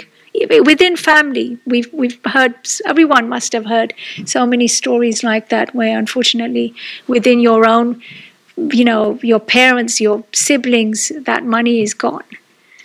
Right, so um, that's why I've put this in there that at least uh, please have it signed because you know it, it, it's it's an amana. And um, talking about signing, this um, leads me on to so before sisters, before you sign anything, and this again is goes back to my, my line of work. Before you sign anything, please read all the terms, all the conditions, all the fine print, because um, you know a lot of the times uh, things crop up later, and because you've already signed, you've already become into this legally binding contract and it's too late to, to pull out. Once you've signed, you can't pull out, right? So before you sign anything, please read everything in, in detail. And particularly with loans, there's something called prepayment penalties. Right, so prepayment penalties. Sometimes with the loans, you may decide to pay them off earlier than originally agreed, right? For example, a home loan. It might be a 30 year loan, you may be ready to pay it off in 15 years, right? Some of them have the condition or have this caveat of a prepayment penalty. So, this is a penalty that is imposed if you decide to pay your loan off early banks will impose this. So before you sign your paperwork, check please that you know uh, check read the clauses read the fine print read about the prepayment penalty before you, you agree on on the loan and the conditions. And also before you sign you are able to negotiate right up to the point before you sign you can negotiate your terms and conditions. So please do use that opportunity. Like once you get something from the bank or anywhere right in writing you, before you sign, up to the point of when you sign, you have that opportunity to negotiate. So please use your negotiation um, and, and, and, you know and get that done because like I said, once you've signed, it's the final deal and you, have entered a legally binding contract. So that's a, very, very, important point. And then the other um, point I wanted to make is um, something called predatory lending. So this is like the predators, right? Where you, if you feel that um, any financial institution that or um, you know any company that you're trying to get a loan with and you're feeling pressurized you should never feel pressurized in uh, you know by any sort of financial institution um, or if you feel that there's some sort of unfair practice so there's a, it's an abuse you know some form of abuse going on with this organization or uh, the institution um, you know as uh, as a tactic in lending you that money or you being forced to you know take on this loan or this payment, that is wrong right? This this falls under predatory lending, and there's a website here www.usa.gov.consumer, and that gives you very specific consumer protection information because it's illegal to to use these tactics to try to lure you to um, you know get forcefully uh, uh, accepting some of these conditions of the loans. So if you feel you've been a, a victim of predatory lending or you want to reach a potential lender, then please go to this usa.gov information um, site and, and they'll be able to help you. Okay, uh, another very important um, aspect I wanted to cover is uh, our documents. Right, so um, how many people here have access to their documents? So any document at home, any document, you have full access. Everyone has full access to document. So documents will cover. Uh, so I'm going to break these up. So ideally, there's five categories of, of, of documents that we should have access to. And it's good to organize them in, in, in these categories for ourselves because it, it just helps you with, um, you know, future planning. Financial records, right? We should have access to financial records. This includes our bank statements, credit card agreements, any money order receipts, loan documents, right? Any documentation with regards to your finance, you should have full access to. Number two, legal documents, right? Birth certificate, marriage license, if you're divorced, a divorce decree, social security cards, immigration paperwork, if you are in an abusive relationship, a restraining protective order, right? We must all individually have access to this. It does that we shouldn't rely on our spouses that they're the men of the house and you know they, they should be in we should at least the bare minimum at least a know where they are. If we cannot access the originals, the minimum is to have copies of them. I strongly advise that if you cannot have original documents of these, have at least the, mini- the minimum copies of these. And once you have copies of these documents, then you have to organize them. And, and, and these are the five key buckets that how you should organize. You should have a separate bucket or folder for your financial record, a separate folder for your legal documents, a separate folder for your property documents. So this will include if you're renting, your rental lease, if you are um, if you own a house, your title, your deed, um, your vehicle registration, your insurance policies. If you have valuables, ladies, if you have jewelry, gold, please make sure you have at least pictures of it.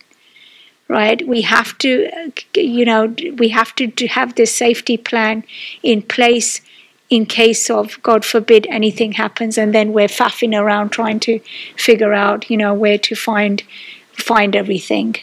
So property documents, health records, right? Our medical, dental, vision, health, any life insurance policies we have, disability insurance, medical expense receipts, list of doctors if you have a will all of these should be kept under your, your health records. And then your expense documents, your household bills.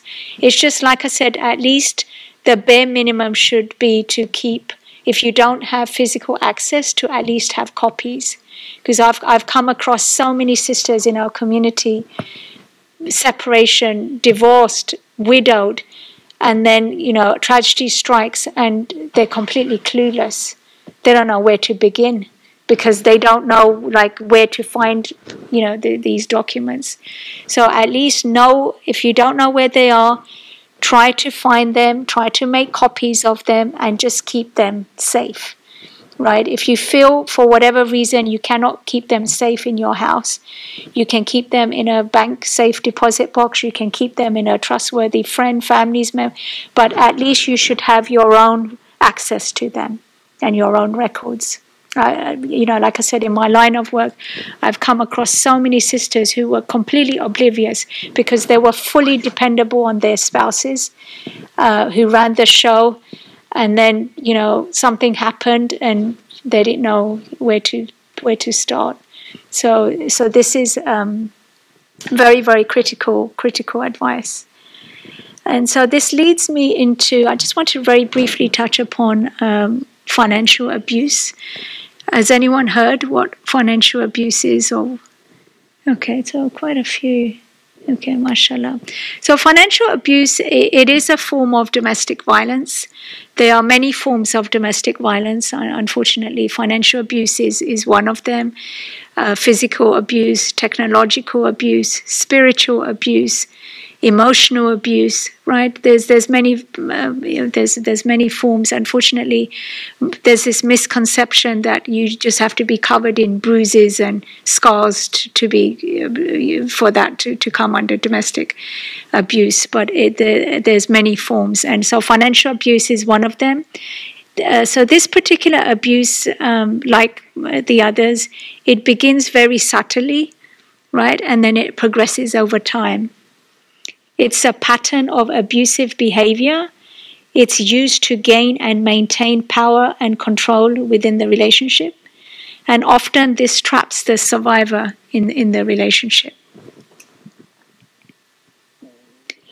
So, here are some tactics that are used in financial abuse, right? So, if you recognize them, then unfortunately, this is a, a sign of financial abuse stealing money from you or your family. So if your spouse is doing this, this is a form of financial abuse. Forbidding you from working or getting an education. Forcing you to work and or hand over any income, any assets or any benefits. So if you are working and your spouse is forcing you to provide your earnings to him, then that is a form of, abu- uh, of abuse. If you're doing this voluntarily you want to spend on your spouse, your children, your house, that's separate. But if you are being forced to to you know provide the earnings to the spouse, that is a form of financial abuse. Controlling how money is spent, making all the financial decisions, withholding financial information, forcing you to sign or file fraudulent legal documents or benefits. Right? So these are some further tactics that come under financial abuse. Preventing you from obtaining or using credit cards or bank cards threatening to report you for cheating on your benefits. So if you are claiming benefits and your spouse is threatening you that they will report you to the to the benefits agency, uh, that is a, a, a, tactic of, of financial abuse because it's it's a form of, of power and control. Overusing credit cards or refusing to pay your bills. So that's why I, I, I keep reiterating, sister, your point that if you are an authorized user, right, under your spouse's name, then, you know, just make sure that he's paying the payments on time. Because if he's overusing his card and he's not making the monthly, it's going to directly impact your credit score. So, yeah. Did that person take their name off? Yes, yes, that. But I think um, I have to double check, but I um, the, the, the, the disadvantage is also your spouse can just take you off because he's the primary account holder. So he doesn't even have to get your permission. He, he, he can just have you removed at any time. And you won't even know about it. Unless you use the card. Unless, uh, unless you use the card, exactly because I, I had a client this same situation happened to. She didn't he didn't notify her. She went to use the card and it was rejected.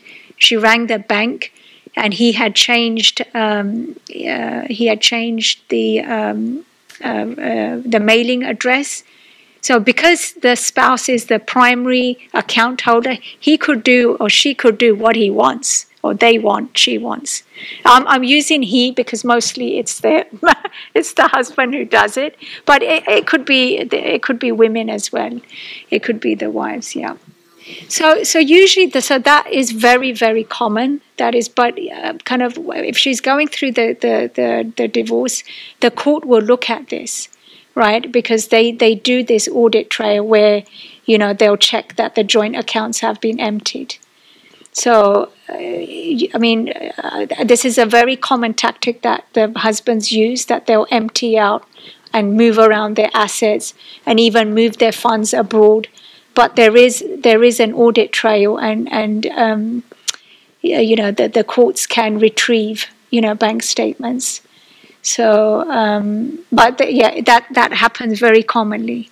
Where Okay, she believes like it, it's gone, but yeah, I, I'm not too sure about. I mean, this is a kind of a family uh, attorney question. I don't know realistically if those funds can be retrieved. Um, but I know that the courts do. Do you want to chime in on this? If she can prove how she's contributed and whatnot, the attorney can pick that up. So, so what happens if because the, uh, this happens a lot, right? A, a lot of the sisters they're not working; they're fully financially dependent on their spouse, and then you know they're going through a divorce, they get divorced, and then the joint accounts have been emptied. So, do they have access then to that to the to the joint money, or that money's you know, when you deposit, there's a record. Like if she's using her card, it's under her name or whatnot. so if she hasn't contributed, how does that work then? Um, it, that's where the attorney comes. in. Yeah, yeah. I've That- also. I wasn't that exact, but I know others who were, and they're good attorneys. so yeah, There's another way to spend This, this is, you know, this question, sister, this is such an important question because it just goes back to my previous slide why we need to have our documents, right? We each one, regardless of our situation, Alhamdulillah, you know, we're good right now, but we don't know about tomorrow. So uh, it's it's absolutely critical that we must have these documents. Absolutely, I, I can't emphasize this enough.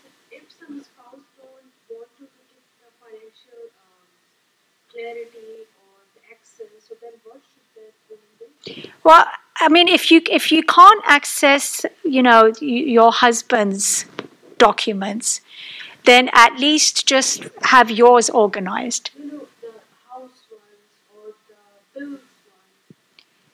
Yeah, I mean uh, that comes under financial abuse, right? It's it's um, because it's all about control. So you know the the transparency has to be there. So I did. um, and we're going to cover this. Um, uh, so we we've done some tactics, and then I, I will share with you. So it, so this slide kind of. I think answers your your question. So, what does a healthy financial relationship look like? Right. So, unfortunately, ninety nine percent of domestic violence survivors are have experienced some form of financial. There's a very close correlation between domestic violence survivors and financial abuse, right? And so, um, at least we need to be aware of what is it, what is it, what is a healthy financial relationship. So, a healthy financial relationship is where both partners, right? So, the emphasis here is on is on both. Both partners have access to financial statements, to information, despite the fact that one you know that one of the partner is working right? So your spouse your husband may be working he's managing the finances but a healthy relationship is where both the husband and wife have access to your financial statements and information. Secondly, couples feel safe to identify and voice when they have different values about money and negotiate financial goals. So, again, it should be a joint decision making process. I had um, a, a client a few months ago who, who told me that uh, her husband bought a Tesla and didn't tell her just randomly came one day, parked it in the driveway. And you know, Teslas are not cheap. It's a big investment, it's a big purchase. And he just he just randomly you know parked it. And uh, he just said hey i've uh, i've bought a new car. Right? And and that's wrong. And then- say, I can't make my wife happy. I bring him because so so so the the, the the funny part was so the tesla he so so the husband it, it was it was his car right? So he didn't think it was necessary to tell the wife because he's driving it. But i mean just think of the the, the large amount that's been spent right? And he didn't think it's important enough to tell the wife because the mindset is well i'm working so it's my money. I can do what i want right? So this is this is wrong and the other thing islamically that i think a lot of our sisters i had this conversation in my in my last session is you know for for those of us who are working our money that we earn alhamdulillah i mean mashallah islam is is is, is a beautiful religion our money is our money.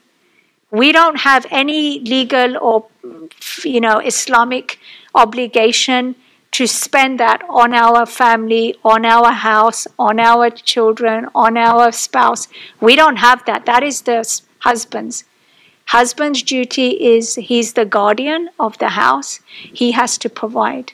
So what we whatever we earn islamically that belongs to us. We can choose to spend it right? Through voluntarily we can choose to spend it on the children on the spouse on the husband. We can choose that but him demanding that whatever you're earning and that's coming to me that's wrong so we it's really important because I know, mashallah, most of us know this, but I've done so many sessions where sisters are like, wow, we didn't know this. Uh, we're just giving our earnings to our husband. So, you know, I mean, especially living in the Bay Area, you need dual incomes, right? But typically, you do need both parties to work to be able to sustain a certain standard of living. But you know, don't feel pressurized or obliged that I have to financially do this for this it, voluntarily. Yes, by all means, but you there's no fundamental responsibility to do. That is the spouse, the the husband. Um, so both recognize and respect that decision making is equal, regardless of who earns more income. Each partner can have access to their money on their own. So that's the other thing. You know, some of the sisters they have a joint uh, a joint account, but then they're not allowed access to it. It's really bizarre. Like you know, I've I've had stories where you know sisters are like, you know, we've got a joint account, but you know, my husband's taken my PIN number. So I can't access the funds. I'm like, well, that's wrong. Like a joint account, bare minimum, you should have access to that. So even with the joint account, you there are some accounts that require both partner, both parties to be present for to make a transaction or a withdrawal. So you have to see, um, you know, there's um, either there's a or, like so it could be, for example, myself, you know, Siema Zia or my spouse, right? We just say Rick Zia, right? Siema Zia or Rick Zia. So if it's an or account, then either one of us can go and use that account independent. We don't need to get each other's permission. But there are some joint accounts that are and. So then both parties have to be present, or you need at least the signature of the other party to make a withdrawal or you know a transaction. So with your joint accounts, just be vigilant on, be wary on um, kind of what are the what are the conditions on how that joint account works, because uh, you know some uh, you have to have both people present. So the the or is better where you know you have you have access independently. bank account, your Yeah, yeah, bank accounts, yeah. And so both are knowledgeable about how money is spent, right? So I've just given you the Tesla example. So you have to be, um, you know, you need to know. So this, this is um, kind of a framework of what a healthy financial relationship should look like. Realistically, we know that it's very difficult to achieve this, right? To to have this in a in a marriage. But I think uh, as you know, to empower ourselves, the the minimum is to at least understand that you know this is this is a healthy financial relationship.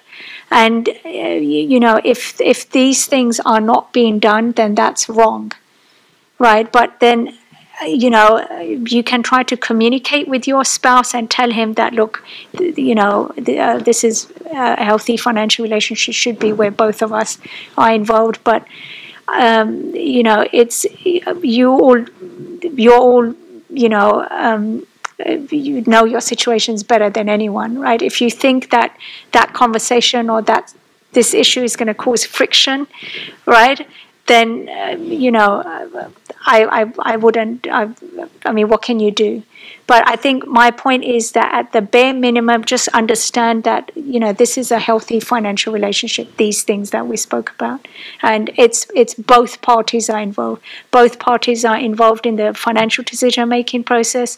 They're involved in the um, uh, you know the access, and they know exactly what the you know the the their finances are, what what their situation is. And so I want to very briefly touch upon investments. So, investments and taxation and retirement, that's a very specialized um, area. Uh, Narika actually do um, workshops for this, but I just very, very briefly wanted to touch upon this. So, financial instruments, uh, investments are financial instruments you buy with the hope that your money will grow in the future right? That's what an investment is. Why should I invest? To build wealth for retirement, for education, right? If you're trying to save up money for your children's education, investment is, is one way of, of doing that. To buy a house for your children, for recreation. And then I've just listed, there's a lot more, um, but th- these are some uh, advanced investment vehicles that uh, are commonly used. Stocks, so shares is a, a, co- a common one where, you know, you um, the stocks represent proportional shares of ownership in the company that you are interested in investing. They work on a on a stock exchange, and I've just put an example here. If you buy ten thousand shares of a stock in a company. So, say for example, BP, right, the oil company, you buy 10,000 shares of that stock and 100 uh, it has 100,000 shares issued. So that you're owning 10% of that of that company. So stocks are traded on public uh, on stock exchange and you know buyers and sellers come together the other uh, very commonly used investment vehicle is corporate bonds. So, with, with any of these, I str- if you are considering investments, I strongly advise you speak to a financial advisor. So, if, you know, you do get, and I, if you you know want any recommendations, you can come and speak to me um, uh, after this session. I, I do have a couple of uh, reputable advisors who provide a free consultation so you can get some you know further advice on kind of what are the the better um, investment opportunities for you. So corporate bonds is another real estate right? That's considered an investment. Some people want to invest in purchasing properties right as a, as a form of investment. Gold silver right? That's considered an investment to purchase that and um, and to retain that. Do um, also be careful with investment fraud. Um, do not be afraid to invest, but always be aware. There are unfortunately a lot of investment fraud, so just be wary. Um, there's you know a lot of scammers around. There's a um, one particular fraud, very common one, guaranteed profit from penny stocks. Right, it's a it's a tactic that's that's used, um, but but it's it's a, it's mostly by scammers fraudulent business opportunities, email scams, right? So, um, uh, so you could avoid fraud just being informed, find mentors. So, like I said, you know, really speak to financial planners and seek advice. So, if you are seriously considering any form of investment, um, you know, please at least speak to a financial planner and, and seek uh, the advice. If an investment opportunity seems too good to be true, then run. Right? Then that is risky. If you feel that, oh my God, this is great, it's going to make me a lot of money, I'm going to, you know, get rich, um, gain a lot of profit, eh, there's something dodgy in that. So, um, you know, if it seems too good, um, run. Do not make any irrational decisions, right? Without without doing your your research. And I've just put together some websites that um, you, you can so as resources if you need to find some uh, additional information on investment. Click to Empower, Investor.gov, Investopedia, Beginners Invest uh, about, and Google.com Finance. It, uh, this last one, the Google.com. So, um, you know, reading the headlines, like if you're, for, for example, considering um, purchasing some stocks, this one, Google.com.finance, will give you some headlines about what is happening with the companies, right? So, so for example, if someone's recommended, you know, buy some shares with Twitter, right? And we know what's been happening with, with Twitter. So it's it's really important to know what's happening about that company um, by reading the headlines. So those are some um, some resources. Um, so that's it. What I had on um, the the main presentation. I had a um, a pop quiz. So I don't know if uh, it's ten past five. i am I'm just a bit mindful of everyone's time. We can go through this very, t- if you want, very quickly together. Um, let me. Um, so just bear with me. We'll we'll close on this, and uh, I'll take some Q and A as well, inshallah. Okay.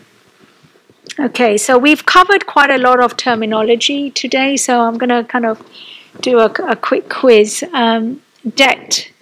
How would you define a debt? Anyone? Sorry?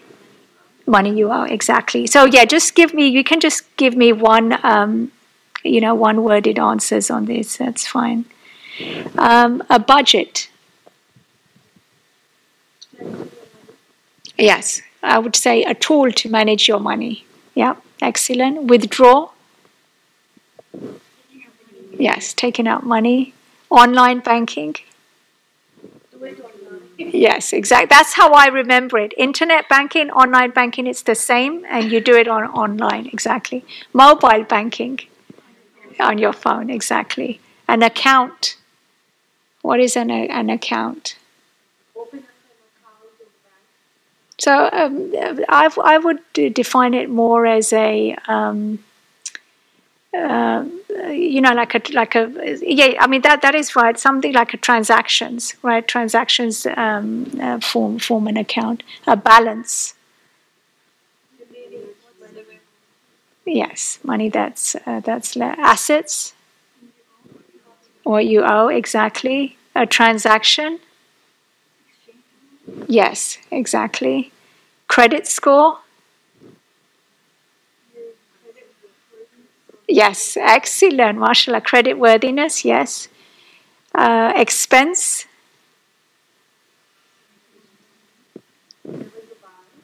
So it's, expense is a cost, right? Something that you're having to spend money on. So uh, um, cost.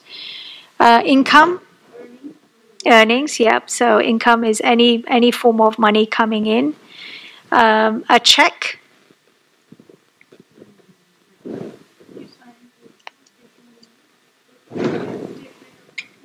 Yeah it can yes. It can be a written statement yeah um, investment. To make your money grow yep. Mortgage Loan on a house, excellent. A loan, something that you borrow, yeah. Fees, additional charges, penalties.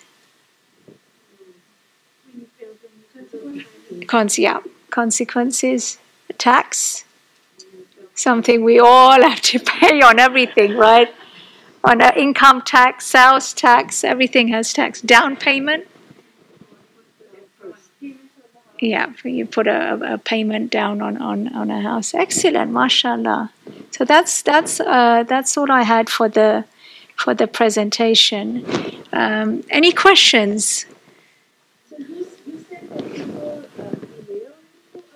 Yes, I can. Um, I have to speak to um, someone from MCC who I think. Have you all registered? Did you register for the? So if you registered, I think you've obviously um, we've got your email addresses. So I will uh, I will get uh, Sister Anjuman to um, share this presentation with you. Yeah. So you have.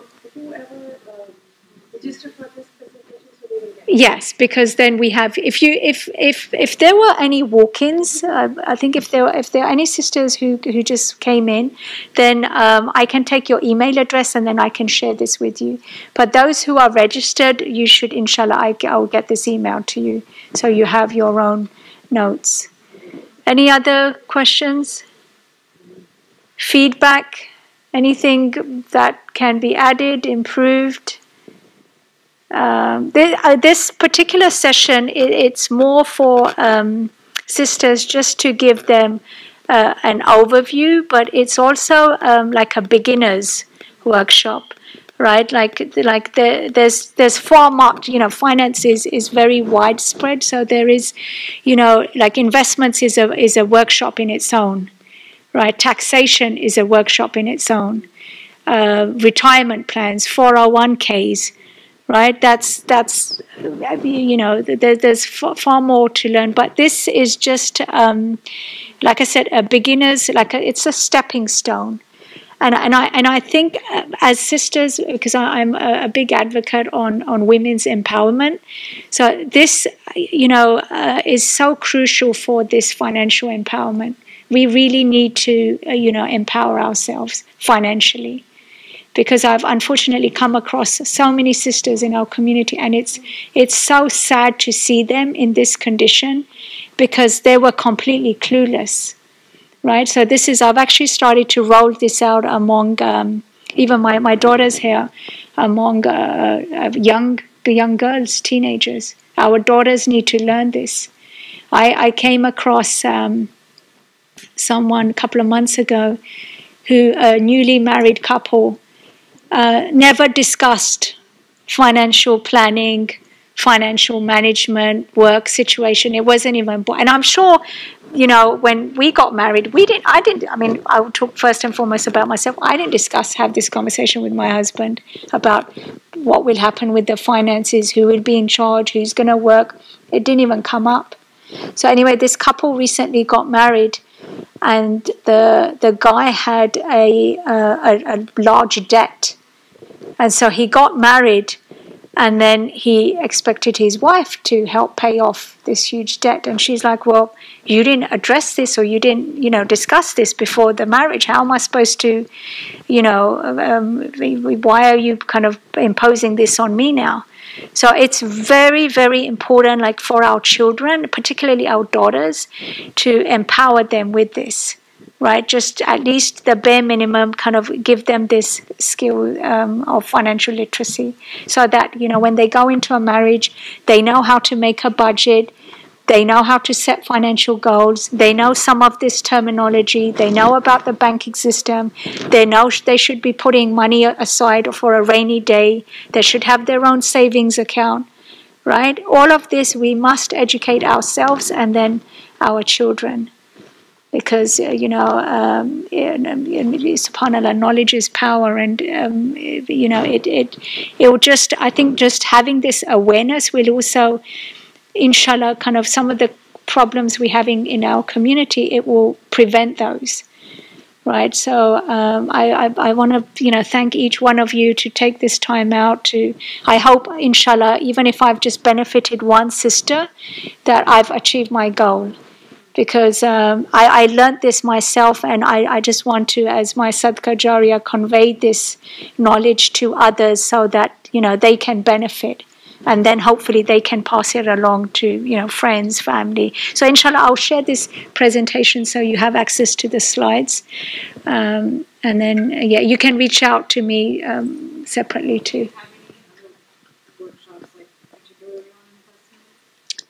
um, I don't, but I can find out.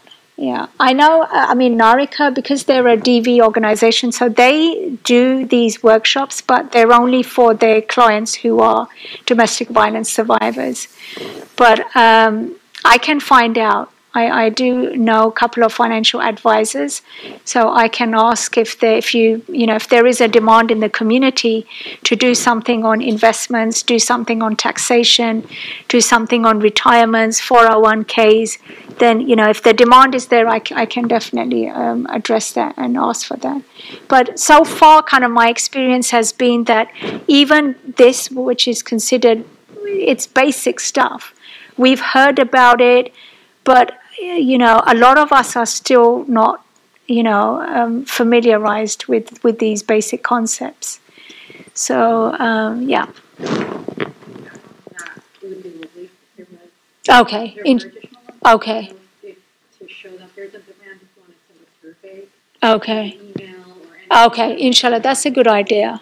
Okay. Inshallah. I know we had a lot more sisters registered who didn't show up. So, um, uh, you know, inshallah, I, I, this is being recorded, but I'm hoping to, um, you know, come back here. I'm, I'm, I'm doing this at different masajids, so to kind of, um, you know, cater for, for more women. But inshallah khair. Uh, I, I just think from my experiences with particularly working with these uh, DV survivors, it just made me realize that particularly among the immigrant community, South Asian immigrant community, Uh, unfortunately sisters are completely oblivious. They're just blindly, they just rely on their spouses. And then when something happens, you don't know, right? It, it doesn't have to be separation, even death right? If your spouse passes away, you don't know where to begin. So, very important, yeah. Yeah, I, I can give you my, my email address. So, yeah, you can contact me by by email. Yeah, the if it's more, so you know, we we uh, we touched upon financial abuse. So if it if you if you feel it's a question regarding that, then I would go through Narika you can you know the the uh, the people who are here i would go through narika and um, you know uh, they can reach out because I, uh, I i volunteer through them. And so um, we can do it that way. So uh, but if it's a, a generalized question uh, i'm you know i'm happy to to answer that. But if it's if it's uh, you know abuse related then it's best to go through narika. And so, yeah, but um, yeah, thank you so much for your time. I really appreciate you coming out on a on a Sunday afternoon. And um, you know, if you want my contact details, I can, um, inshallah, I, I can share those with you. I'm actually just going to put it up on the on the board.